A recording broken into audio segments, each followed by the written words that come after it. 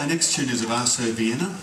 Varso Viennas were, were played for dance that came from Europe. Uh, many people think of our dance heritage as being English, Irish, Scottish, but many, many dances came from Europe.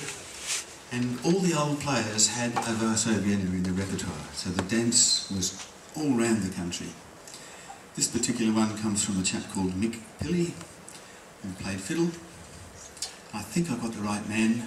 He lost a finger of his left hand. He rearranged his fiddle and played it the other way because he was needed for dances.